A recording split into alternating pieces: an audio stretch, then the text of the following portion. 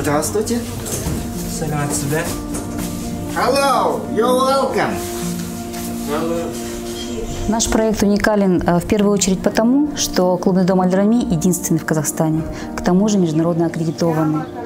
Во-вторых, мы работаем по модели зарубежных клубных домов. И именно эта модель реабилитации людей с ментальными нарушениями признана во всем мире самой эффективной. До Аль-Рами я часто попадал в стационар, примерно год-три раза. Регулярно посещал врача, э, не представлял жизнь без таблеток. У меня был какой-то страх перед будущим. В нашей стране нет никакого другого вида реабилитации душевных больных, кроме медицинской, стационар и домов для психохроников в особо тяжелых случаях, ну и кроме клубного дома Адрами. Добрый день, меня зовут Тарас. Хожу сюда с, с 11 года. Раньше я не чувствовал никаких то ответственности, я думал, что все так она должна быть, пройдет.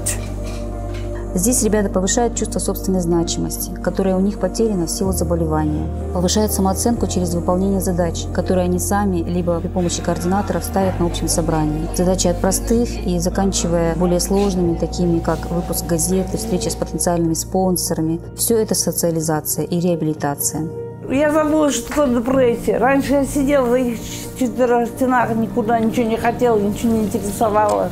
А теперь у меня столько позитива. Рабочий день в Альрами напоминает обычный рабочий день в офисе. Ребята снова входят в рабочий режим после долгих лет изоляции. Ведь хотя мы и не говорим здесь об их диагнозах, но знаем, что они принимают психотропные препараты, которые обладают сильным седативным действием. И такому человеку очень сложно выйти на работу. И у нас действительно есть результаты. На данный момент у нас трудоустроено 18 ребят, которые оказывают себя ответственными работниками. А с 2011 года нами было трудоустроено более 70 членов клуба. И, конечно, хочу отметить, что мы работаем при поддержке отдела координации занятости населения и социальных программ города Павлодара. Без их помощи нам было бы очень сложно работать. Мы реализуем госсоцзаказ.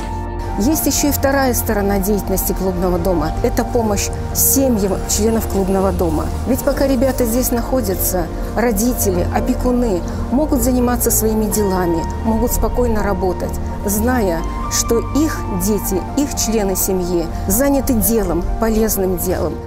Как здорово, что у нас есть клубный дом.